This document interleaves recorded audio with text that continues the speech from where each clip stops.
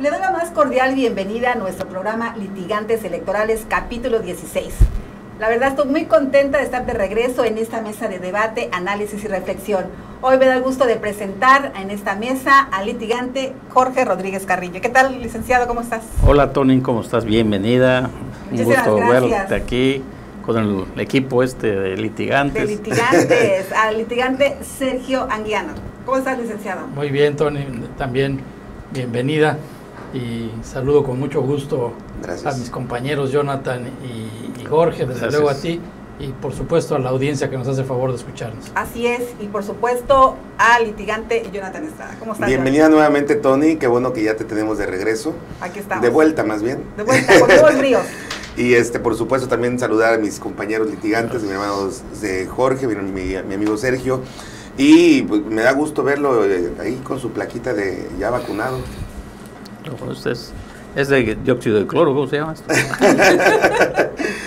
Eh, y por supuesto al auditorio, muchas gracias. Así es, pues comenzamos con tres temas realmente interesantes. No se vayan, comparta este video para que le llegue a más electores indecisos y sepan cómo está esta cuestión electoral. Pues comenzamos, vamos a comenzar con el litigante Jorge, perdón, con el litigante Sergio Anguiano.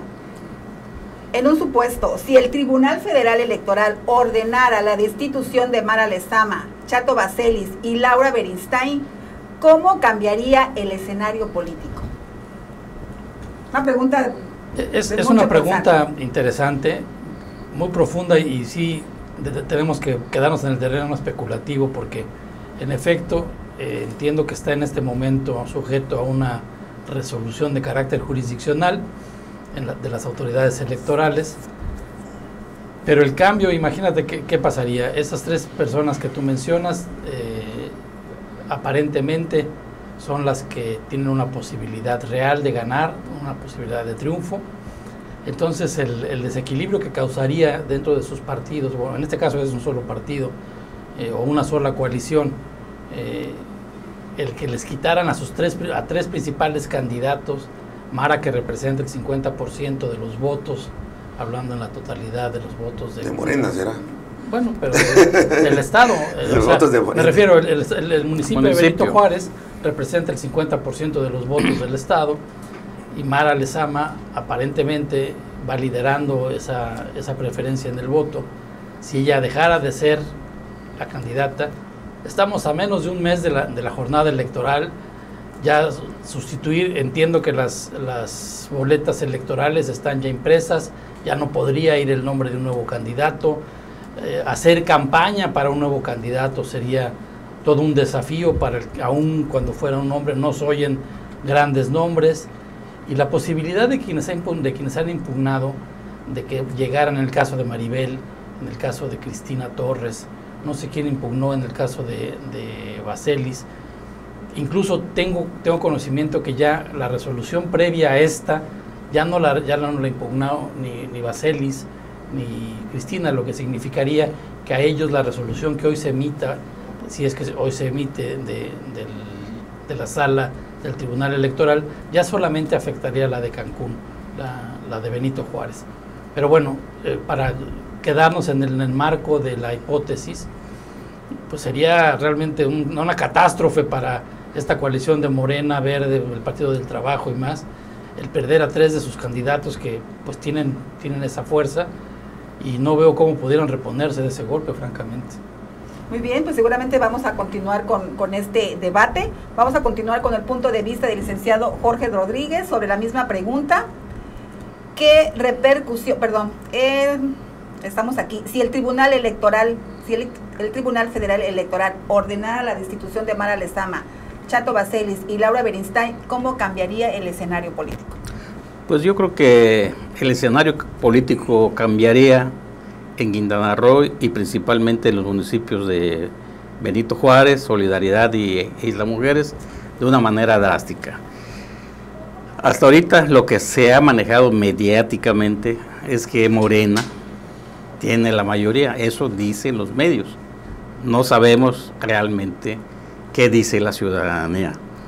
¿Qué pasaría para los partidos que han propuesto a estas personas? Pues indudablemente se les generaría un problema interno grave, de una magnitud que pues les sería muy difícil sustituir a, estas, a estos tres posibles candidatos, ¿verdad? A Mara, a, Laura Beristain y al Chato Baselis.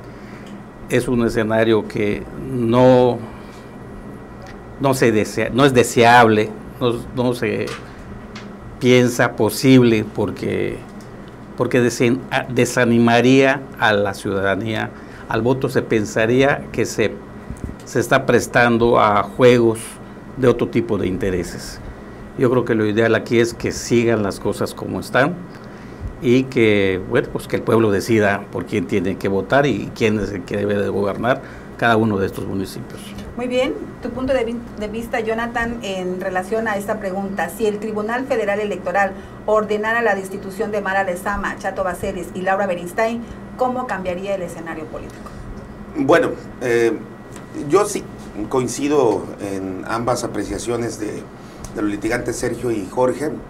Creo que sí, lo ideal sería que no cambiara pues en nada el escenario, es decir, que continuara como está, porque el que gane obviamente tendría mayor legitimidad. ¿Qué sucedió en el 2018? Y, digo legitimidad por lógica, ¿no?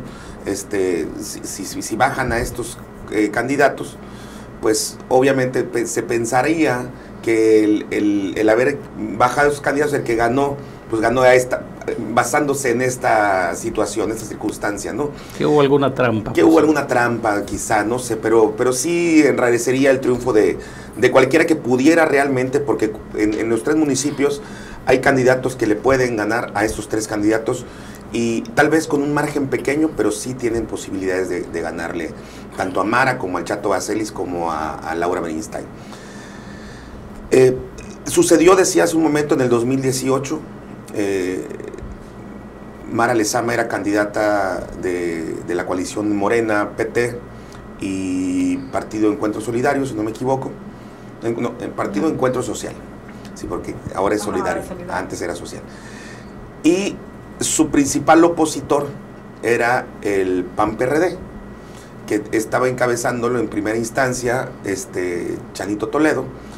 Después, Chanito Toledo, el que es ahorita dirigente de Movimiento Ciudadano. Después de, eso, este, lo impugnan porque no cubría los requisitos, no, no cubría la residencia él había sacado una credencial de elector de Cancún de manera extemporánea y tenía una de solidaridad también. En fin, eh, se, hace este, estos vericuetos y legalmente no puede ser el candidato. Entonces deciden poner a un clon con el mismo nombre, solamente el segundo apellido de Acosta, que es precisamente todavía el regidor del, PRD en, el Cabildo de Benito Juárez. Impugnan a, José Luis eh, Toledo Acosta, y entra en su relevo Eloy Penich, el ahora candidato a diputado federal por el Partido Acción Nacional y, por el PRD también. ¿Y qué sucede? Que vuelven a impugnar a, Eloy Peniche y vuelve a quedar a una semana aproximadamente de las elecciones José Luis Acosta Toledo. O sea, no hubo oposición como tal. En la, en la, parte del PRI estaba este muchacho del Verde, Pablo Bustamante, que iba con la coalición PRI-Verde y que pues bueno, fue muy fácil que quedara en, el cabildo porque pues prácticamente la competencia estaba muy, muy, este, muy escueta, ¿no? Y es así como logra crecer de alguna manera Isaac Hanix, que es el único candidato independiente que pues, quedó en segundo lugar. O sea, el escenario ante estos hechos ya lo hemos vivido. Le favoreció a Mara Lezama.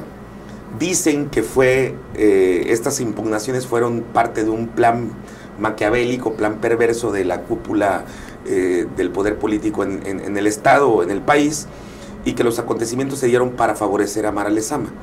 Llega ella con un amplio margen por lógica, no tener oposición, pues llega con un amplio margen al, ayuntamiento porque además en la boleta aparecía Andrés Manuel López Obrador con una pues apabullante este, fuerza electoral y todo eso le favorece a Mara Lezama.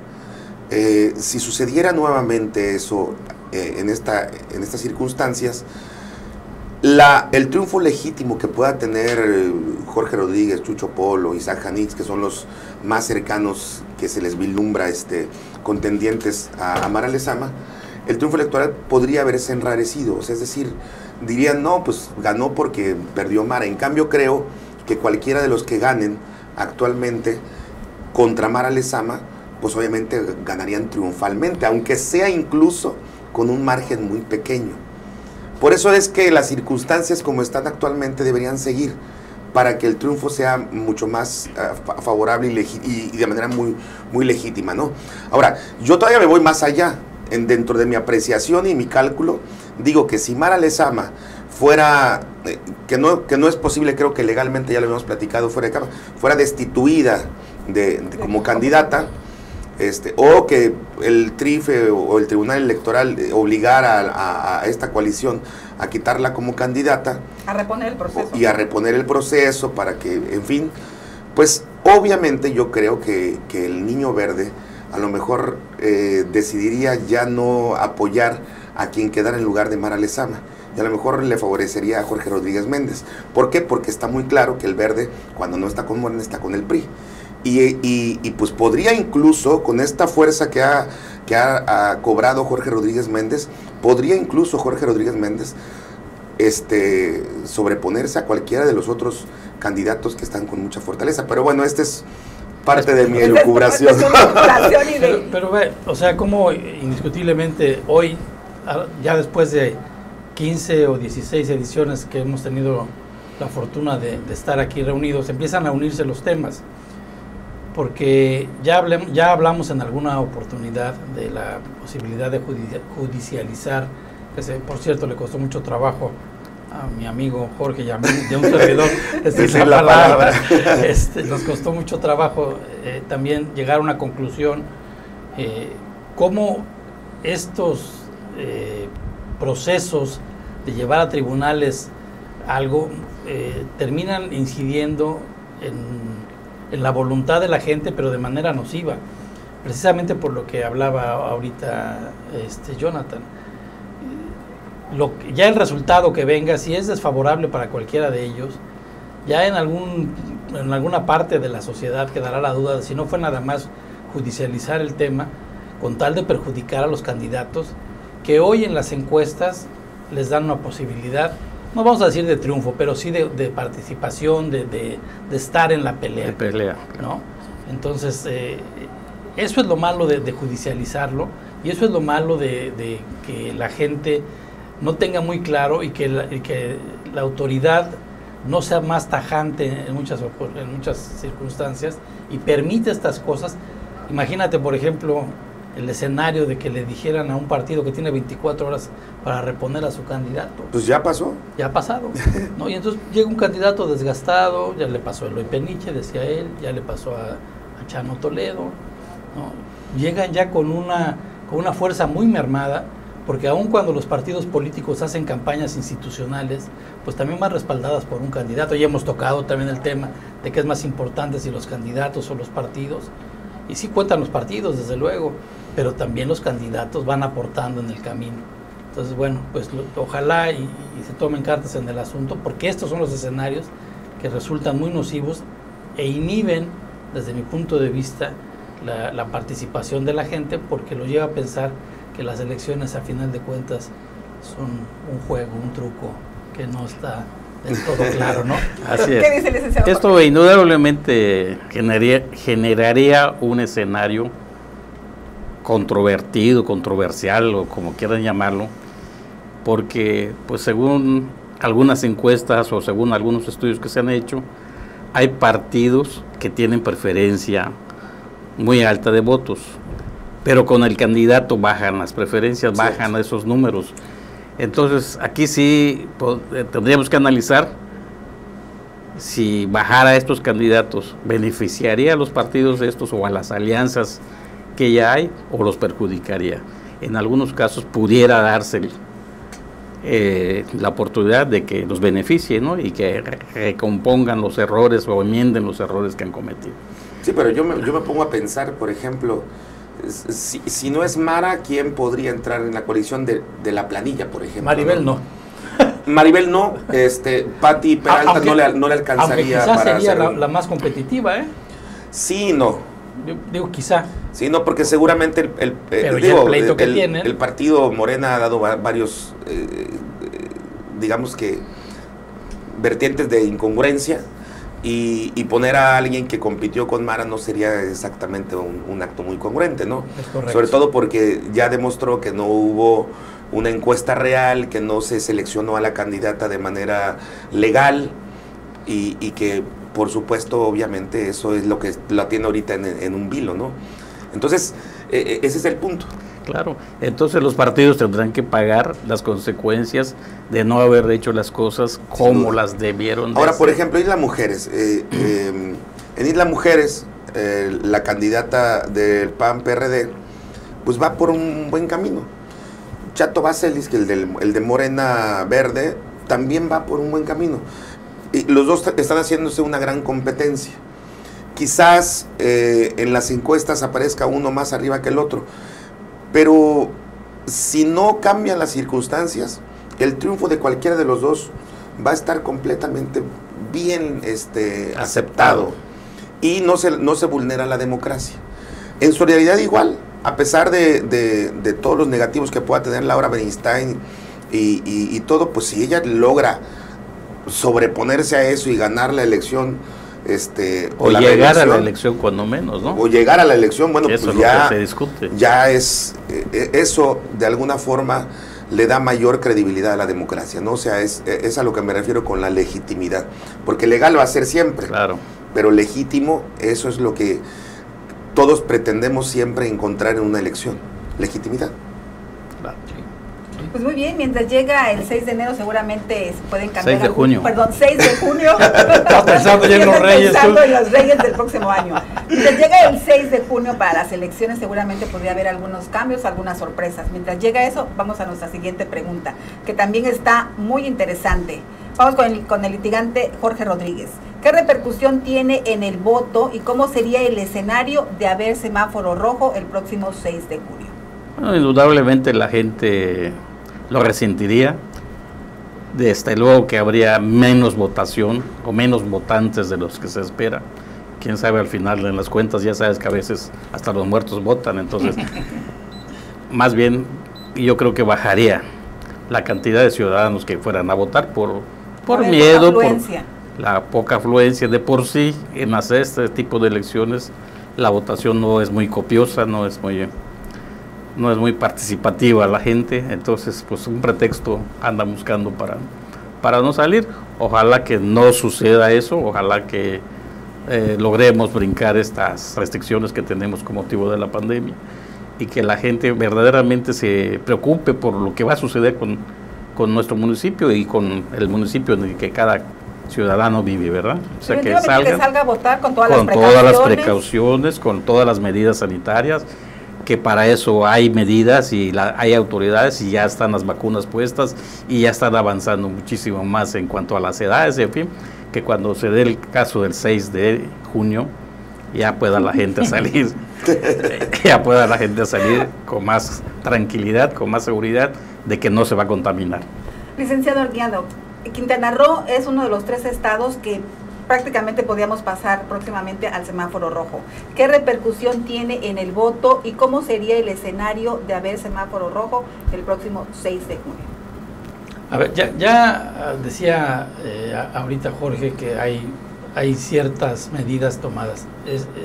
no es nuevo para, para la autoridad electoral saber que el 6 de junio habrá una votación y hace un año que empezaron los preparativos y oficialmente arrancaron por ahí de septiembre, octubre del año pasado, se establecieron protocolos para, para la votación con COVID. No había vacunas, no había nada previsto y ya hay protocolos que se deberán de seguir aún cuando ahora ya hay vacunas y una buena parte de la población, bueno, cuando menos los adultos mayores ya han sido vacunados y empieza a vacunarse a, a las personas de 50 años o más y muchos de los que han tenido oportunidad de viajar a Estados Unidos también ya se han, ya se han vacunado. Pero hay un protocolo, hay un protocolo en el que se pensó que se vacunaría con todo y COVID. A eso hay que sumar, o, a eso habría que decir, que de por sí las elecciones de, mediados de término, eh, del término presidencial, siempre son más lentas. Intermedias. Intermedias van a ser, esta seguramente, pues es una elección intermedia, y va a haber un, flujo lento, vamos a decir, en la votación. A lo mejor aquí vamos a ver por primera vez la aplicación, yo nunca me ha tocado verlo. Hay una disposición legal que dice que las casillas deben de cerrar a las 6 de la tarde, salvo que haya gente en la cola. Bueno, pudiera ser que por primera vez me toque ver una, una circunstancia así. Eh, a mí me encantaría ver eso, pero se, se, prevé, al menos yo preveo, que va a ser una, una elección de por sí lenta. Y si hay semáforo rojo, indudablemente eso va a inhibir más a, la gente para salir, porque como ya se decía, la gente está buscando un pretexto para no salir a votar. Pero yo creo que es muy importante decirle a la gente que salga, que vote, por la elección que prefiera, por el candidato que más le convenza, pero que salga y que se exprese, aunque tenga que formarse por un rato mayor en esta elección. Así es, muy bien. Y Jonathan Estrada, tu opinión en esta mesa de debate y análisis sobre la repercusión que tiene en el voto y cómo sería el escenario de haber semáforo rojo el próximo 6 de junio. Bueno, hay que, hay que decir algo muy importante. Los partidos políticos, sobre todo los, los tradicionales, eh, hablamos de los más antiguos, tienen una estructura electoral que usan el día de la elección para ¿por qué no decirlo con todas sus letras? Acarrear a los votantes. Esta estructura que se financia y se aceita eh, de manera ilegal, porque es así, pues es la que, la que logra que ciertos candidatos tengan más votos, ¿no? Si, y, hay un amplio margen de electores que no, no se dejan guiar por estas estructuras, que no son simpatizantes directamente de algún partido político, ni, y, que quizás lo sean de un candidato en determinado momento, que estos, como no son acarreados, estos de manera voluntaria, de manera, este, eh, bueno, voluntaria es la palabra, espontánea, son los que van a votar. Si en el país o en Quintana Roo existiera justo el día de la votación el semáforo rojo, Obviamente todos esos candidatos que han luchado para ser escuchados por estos votantes este, indecisos serían los más este, afectados. Y afectan también a la democracia. Y le dejan pauta única y exclusivamente a los partidos políticos y a los candidatos con mayor recurso económico que le meten miles y millones de pesos a esas estructuras para acarrear gente y, obviamente obtener votos. Entonces, ¿de qué estamos hablando? Estamos hablando que un semáforo rojo afectaría la elección, no solamente por lo que dice el litigante Sergio, que la haría muy lenta, mucho más lenta que cualquier otro color del semáforo, porque obviamente se supone que ante un semáforo rojo las medidas son mucho más estrictas. Entonces lo harían mucho más lento, mucho más tedioso y los únicos que ganarían serían los que hacen trampa. Y eso lacera la democracia. Entonces, yo sí creo, no he escuchado hasta ahorita ni cámaras empresariales, ni, ni organizaciones este, civiles eh, que, en, en, ocasiones participan como observadores electorales y también participan en su opinión. No he escuchado a partidos políticos que exijan que no se use el semáforo este, epidemiólogo como un instrumento para inhibir el voto. Creo que México eh, ha simulado tanto los temas del COVID y los, y, los colores del semáforo que debería de ser obligatorio que el día de la elección no exista el semáforo rojo. Quería opinar ahí en ese sentido, y si me lo permite, para el licenciado Jorge, que está la COFEPRIS que está teniendo rigurosamente cuidado de que todos los eventos de campaña de los candidatos haya poca gente, precisamente para evitar el contagio. No hay esa rigurosidad. Sí hay, sí la ha habido, yo tengo conocimiento, no sé por eso aquí la pregunta también la pongo en la mesa. Y lo dijo muy claramente el litigante Sergio. La, eh, el INE, el Instituto Nacional Electoral, se preparó y preparó ese proceso electoral con pandemia con conocimiento de la pandemia, sabiendo que podemos estar del color que tengamos que estar y que hay que tomar determinadas medidas. Las ha tomado de común acuerdo con el COPEFRIS y se va a empezar con la mesa de directiva de cada casilla, o sea, qué medidas de protección, qué distancia debe tener cada uno, eh, cómo van a entregar las boletas, no va a haber un contacto físico. Hay una serie de medidas que tomaron con todo y la pandemia. Desde luego, yo creo que el problema no está en, el proceso en sí, sino en el pretexto que el ciudadano pueda agarrar. En el miedo que genera. En el miedo que el... Y eso puede servirle de pretexto al a ciudadano. A eso me circunscribo yo, a que un semáforo rojo inhibe el voto directo en la conciencia de la gente, al, porque hay muchísima gente, tal vez pocos no le tenemos miedo al COVID, pero hay muchísima gente que son los más, los que le tienen un pavor al COVID. Y ante un semáforo rojo no se van a atrever a salir a votar. Inclusive a los funcionarios de las casillas, muchos de sus familiares no los van a dejar salir, les van a decir, no, oye, no corras el riesgo. Por, eso, por eso me atrevo a decir una aseveración que, que que la sostengo. O sea, si ha habido tanta simulación y se ha utilizado el semáforo de manera arbitraria, eh, que es real, está comprobado y los mismos gobernadores de cada entidad han hablado al respecto, eh, debería de obligarse a que el día de la elección, ese día, 24 horas que perdemos, que no, haya semáforo rojo en ningún estado de la República para que pueda el, el, voto no ser inhibido. Pero además de eso, nada más lo suponemos nosotros, porque la ciudadanía vemos que con todo el color del semáforo que esté, sale a pasear, sale a para pasear es una cosa y a, otra. Ojalá y que salga a cumplir con sus deberes cívicos, sus deberes cívicos y sus deberes constitucionales. Y, y son los menos, de verdad. Yo conozco mucha gente que hasta la fecha sigue encerrada en su casa. Que, eso tú tocabas e, ese tema eh, rápidamente, pero que yo creo que eso es un tema que, que hay que abordar y que hay que exigirle a la autoridad electoral a los partidos políticos eh, y a las autoridades. Hay una gran deuda de la democracia en México en cuanto a la participación ciudadana, porque lo ha dicho repetidas ocasiones ahora eh, mi amigo Jorge Rodríguez, en el sentido de que pareciera que están esperando un, pretexto, y qué buen pretexto el, tema de la pandemia. La gente no vota, ¿qué, qué estamos esperando? una, una, votación, si bien nos va un 30%, 35%, en una elección que puede ser fundamental para este país, una elección que es la mayor de todos los tiempos en México, y estamos esperando una votación del 35%. Es decir, hay una deuda muy grave. El INE tiene una de sus principales funciones, es la de promover el voto, evidentemente está fallando.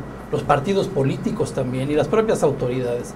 Por eso la aseveración de, mi amigo Jonathan me parece, me parece atinada en el sentido de no fomentar más el tema del, del semáforo rojo, porque están los protocolos, está la necesidad de votar, y lejos de, que se favorezca que la gente participe en una elección que es de, fundamental importancia para este país, con ese tipo de aseveraciones y con ese tipo de semáforos que nadie los ha respetado y que nadie o que poca gente los ha llevado a, pie juntillas, pues no hace sino provocar que haya una baja, una baja participación de por sí, que ya la esperamos baja, pues con eso peor, entre eso y eso. Yo creo que lo que hay que fomentar es que la ciudadanía acuda a votar con todas las medidas que las mismas autoridades nos han indicado. O sea, Exactamente. Todo se puede hacer, está previsto, ya está analizado, ya está estudiado, ya se dijo cómo tienen que ir, cómo se va a hacer el proceso electoral. Hay que promover que precisamente vaya la ciudadanía a votar con su máscara, con sus guantes, con su gel, con su alcohol, con todo lo que se usa. Con su espantavirus. los, los, protocolos, que diseñó el INE, verdaderamente de eso puedo dar eh, fe. fe o mi opinión puntual, yo estoy convencido de que son unos buenos protocolos. A lo que se suma que desde mi punto de vista ustedes podrán tener uno distinto, no lo, no, lo sé, pero me parece que el gobierno del Estado ha, llevado a cabo una buena estrategia en lo que se refiere a la contención del... del sí, pero eso no está discusión. No, pero me refiero que la ciudadanía puede salir confiada a votar porque habrá buenos protocolos y habrá unas buenas medidas de... Hay que quitarles el miedo de que se van a contaminar por ir a votar. Es correcto. Que vayan a votar y que se cuiden. Lo dijiste de una manera puntual. Porque así como salen a las plazas comerciales, como dice que sale con toda la familia, pues que vayan... se van a las playas, se van a las Seguramente habrá quien le diga sepárese, no se, no se junte, sanitice, tienen que sanitizar cada Cuide su distancia. etcétera. Va, va a haber grandes medidas, ahí no se van a contaminar. Bueno, precisamente para allá va dirigida nuestra tercera pregunta. ¿Ha crecido la efervescencia electoral o se percibe apatía? Entre todo este escenario que se ha comentado. En lo general. En lo general. Yo creo que hay efervescencia. Yo creo que la gente... Ya sí. te dio la pared, te voltea a ver, ¿ves cómo te controla? No, sí. Me hace así. y este, yo creo que la gente sí, sí está preocupada por qué va a pasar por la ciudad. Yo creo que la gente sí ha escuchado a los candidatos. Yo creo que la gente sí tiene definido eh, sus preferencias y, y, por qué lado va a votar, o sea, de qué color va a ser y cómo va a ser la, la votación. A la hora de la hora, a ver si no buscan un pretexto y, y no cumplen. Lo ideal y lo que a mí me gustaría es que la gente de verdad vaya a votar, que la gente de verdad ejerza esa ese derecho, que cumpla con esa obligación, porque es un derecho y es una obligación, el votar y ser votado, y que piense que lo que haga o deje de hacer va a repercutir en la vida de nosotros, de todos los ciudadanos de aquí y de todos los ciudadanos del Estado y del país, porque vamos a elegir a diputados federales que nos van a representar y después no nos podemos quejar de que por qué se hacen algunas cosas y por qué el país está como está. Entonces, ojalá, yo quisiera que que, esta, que haya una efervescencia, que la gente de veras se caliente, que la gente de veras se motive y salga a votar.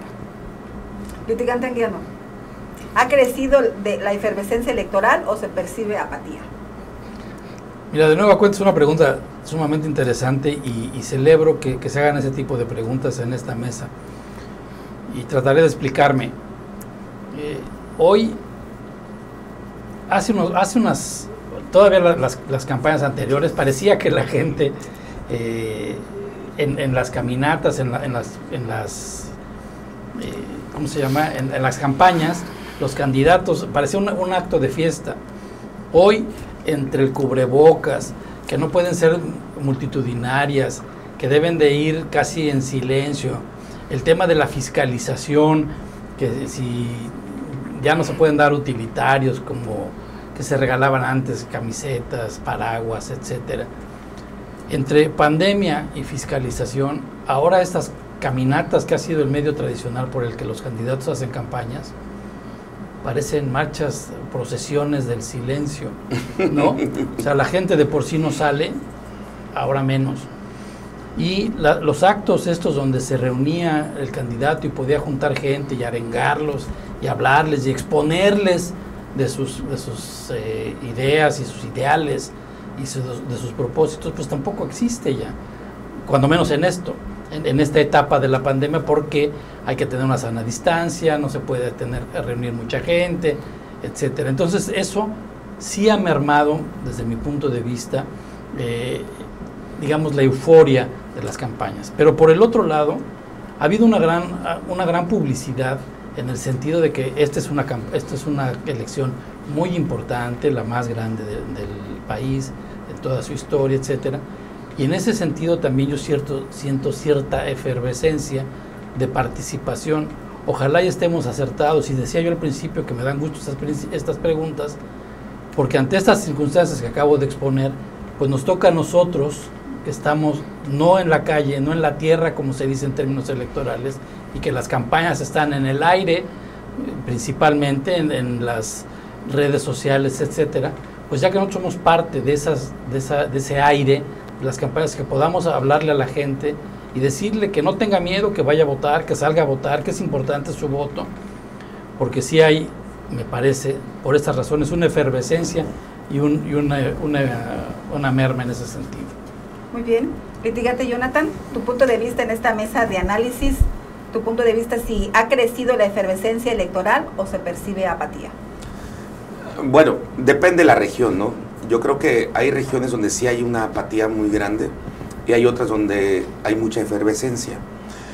Eh, ¿Qué es lo que motiva al, ciudadano, eh, principalmente el que esté interesado en, el proceso electoral? ¿Qué es lo que motiva hacer fiesta o apoyar a tal cual candidato? Eh, en primera instancia, obviamente, su posibilidad de ganar. O sea, porque si no existe una posibilidad de ganar, regularmente hay apatía. Y cuando hay una posibilidad de ganar, cuando el ciudadano le ve posibilidades de ganar, entonces cuando empieza a animarse y sale a, caminar con él y, marcha y hace y deshace, ¿no? Este, eso, eso en algunas regiones como en Benito Juárez, Cancún, sí se está viviendo.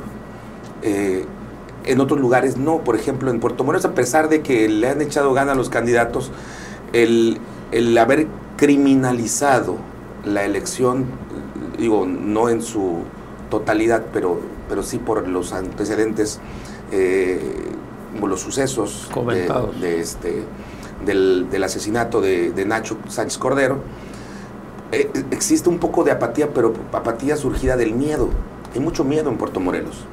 Y sin embargo, bueno, ahí van las, las, campañas electorales. Eh, aquí, por ejemplo, en Benito Juárez, en Chetumal, en Solidaridad, se percibe mucho ánimo de la parte opositora a los que están este, en, esta gran coalición morena, verde, PT y, Movimiento Auténtico Social. O sea, la gente, la ciudadanía, tiene ganas de sacarlos del gobierno. O sea, quiere sacar a Morena del gobierno y eso es algo que, que, no se vive en todas las regiones del país, pero que se vive en algunas de manera muy marcada. O sea, la gente en Cancún no quiere a Morena ya en el gobierno porque sabe que no es Morena quien gobierna, sino el Partido Verde. Y ya se dieron cuenta y ya se, ya, ya se evidenció eso y eso genera efervescencia con los candidatos de oposición que de alguna forma u otra pues los van empujando la misma ciudadanía porque tienen la esperanza de que realmente gane la oposición al gobierno actual y que pueda recuperarse la seguridad y que pueda recuperarse la economía y que pueda recuperarse muchas cosas que se han perdido en estos principales municipios de Quintana Roo. Me refiero a Otompe Blanco, Solidaridad y Benito Juárez. Entonces, en síntesis, sí hay efervescencia en algunos municipios, algunas motivadas por, este tipo de razones que ya consideré, y otras, otros lugares donde hay apatía que realmente, pues bueno, dices, bueno, ¿para qué? Incluso el, famoso dicho, pues ¿para qué voy a votar si ya sabemos quién va a ganar, ¿no? O sea... Pero yo quiero... Sí, sí, adelante, adelante. Yo quiero decir que sí hay efervescencia, sí hay candidatos que han salido, sí hay candidatos que van tocando a la gente y sí hay gente que sale a recibir y a oír a los candidatos. Y llevan batucadas y, y sí hay gente que de veras escucha y participa y quiere que vayan a verlo y quiere que vayan a decirlo y quiere comparar lo que ofrece cada uno de los candidatos. Entonces, yo creo que sí hay una efervescencia. Yo creo que con todo la pandemia y con todos los cuidados que se han, se han impuesto por las autoridades, se va avanzando en la cuestión democrática, se va avanzando en la participación. Esta la efervescencia también está en las redes sociales, ¿no? Como vemos, todos los candidatos tienen sus redes, contestan, están todos atentos, entonces creo que, que, sí se nota. Pero además están los organismos empresariales, los, las cámaras, las distintas representaciones eh, patronales, sindicales, muchas cosas que están participando también, no, no están sentados esperando a ver si va a haber elecciones y por quién va a votar, sino que han recibido a los candidatos de las diversas eh, de los diversos partidos o de las diversas este, coaliciones. Eh, eh, incluso, qué bueno que mencionas lo de los empresarios, por ejemplo, el Consejo Coordinador Empresarial creo que ha tenido en esta ocasión una participación más relevante que en otras elecciones, porque los empresarios ya se atrevieron a opinar y a, y a criticar y señalar a los candidatos directamente algo que regularmente cuidaban, ya sabes, las formas y los modos, ahora lo están haciendo de manera muy abierta. Sí, sí tradicionalmente el CCE, Coparmex participan de, de, esa manera, ¿no? Y creo que nos das una buena noticia, pero menos a mí, en el sentido de que percibes esa, esa euforia de la gente, porque eso es lo que hay que hacer. Yo estoy convencido de que esta elección va a ser más de aire que de tierra, dicho, repito, en términos electorales no más en, términos de, redes sociales, derivado precisamente del tema de la pandemia. Y derivado también, insisto, en el tema de fiscalización. Antes eh, las batucadas, los, grandes eventos y eso se prestaban porque había menos, menos fiscalización, menos supervisión de parte del INE. Hoy los límites de campaña son muy estrechos y la gente no quiere gastar, los candidatos no quieren gastar porque si... Porque van a ser multados. además de que tienen que informar, porque se castiga y se, y se penaliza la, falta de la información, no solamente el, haber, haber excedido el gasto, hoy haber excedido el gasto puede implicar incluso la pérdida de la, de la, de la candidatura. Entonces, bueno, los candidatos ya no quieren ni gastar, ¿no? O sea, dicen, este, vamos a dar camisetas. No, no, no, no, no, las del equipo y, y hasta ahí, eh, porque fiscalización del INE, eso ha venido a perjudicar un poquito las campañas. Ya habrá tiempo para que más adelante. Nada más están guardando la lana para el día de. También puede ser. Más adelante platiquemos estos temas que son muy importantes porque lo que, lo que legalmente le otorga el Instituto Electoral a cada uno de los candidatos, si nos ceñimos a criterios lógicos y sensatos, la verdad no les alcanza ni para tres días, ¿no? Claro. Claro, pero hay candidatos que sí han, han luchado, han seguido la tónica aquella que nos enseñaron de suela, sudor y, y saliva. De salir a caminar, de salir a sudar y de verdad de explicarle a la gente. Y hay gente, hay candidatos que han recibido a los ciudadanos y se han enfrentado porque hay reclamos, hay inconformidad de la ciudadanía, hay ciudadanos que de veras están inconformes contra los políticos. Y entonces hay que convencerlos de que pues no todos son iguales, de que hay tiempos y que hay formas y que hay partidos y que hay colores y que hay tendencias y una serie de cosas. Pero estarás de acuerdo que siempre será más, más alegre ir con la batucada, caminando. Pero lo están haciendo algunos y lo están haciendo. El baile y la fiesta siempre es bueno. Igual que los tragos, ¿verdad? y cuando tocas la puerta, cuando menos darle una quiere decir salud por el regreso de Tony. Pues salud, salud, por la vuelta de Tony. Aquí estamos otra vez. Pero bueno. cuidado! Muchísimas gracias. Con esto concluimos nuestro capítulo 16 de litigantes electorales en estas elecciones 2021. Por favor, comparta este video con todos sus allegados, analicen la información que esta mesa de análisis está presentando para ustedes. Y el jueves nos vemos este con y el, jueves nos vemos con el escenario pintando escenarios electorales. ahora toca Tulum y Cozumel. Uy, se va a poner buenísimo, así que no se la pierda. Nos vemos este jueves. Y bueno, como sabe. le toca a Verónica. Ay, le toca a Verónica. Pues bueno, no importa, yo estaré ahí. Martes. La mano. Tu martes. martes. pues muchísimas gracias a los litigantes. Jorge gracias, Rodríguez. Tony. Gracias, Tony. Gracias, Tony. Fascinado de que estés acá nuevamente. Muchísimas gracias. Nos vemos hasta la próxima. Feliz día.